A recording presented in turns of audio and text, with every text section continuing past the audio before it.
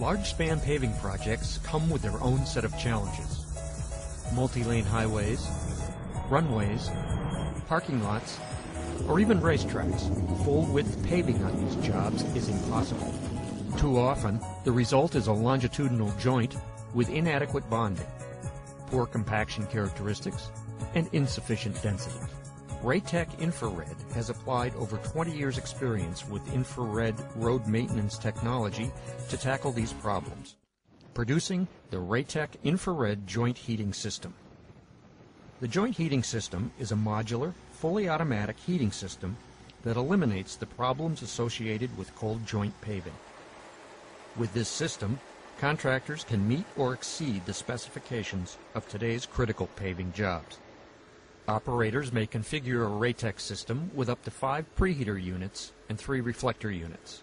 As the preheaters are towed ahead of the paving machine, an additional paver-mounted heater maintains and or increases the joint temperature prior to laying the adjacent layer of asphalt. This results in optimum compaction densities. A center wheel steer tracking system provides easy maneuverability and keeps the joint heater centered on the joint. At the heart of the system is the road-tested Ray-Tech infrared converter. Constructed from 16-gauge stainless, the 15 by 144 inch heating chamber is operated in a horizontal position. The infrared effect is created by a premix of propane and air injected under pressure into a series of energy converters. These converters produce infrared radiation with wavelengths tuned to match the absorption rate of hot mix asphalt. This heating process does not burn or damage the paving material or negatively affect the binding characteristics of the asphalt.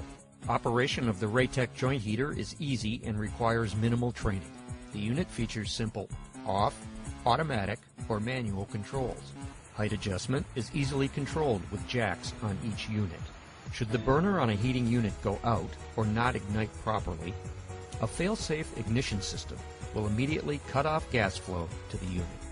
Preheaters attach to the tow vehicle by means of a 2.5 inch ball.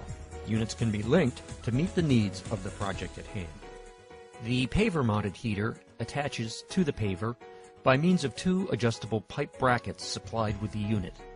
Each preheater has a rack to contain four 100 pound horizontal propane cylinders that are included with the system.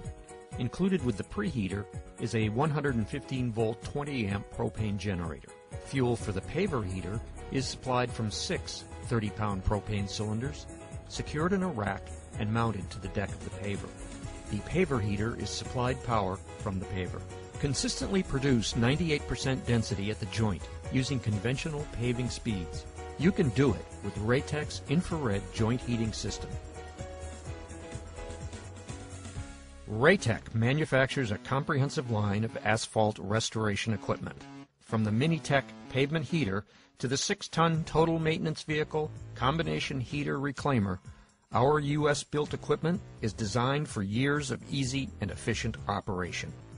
Ray-Tech's 20 years experience in infrared technology and HMA applications puts you, the pavement contractor, ahead of the game in today's competitive marketplace.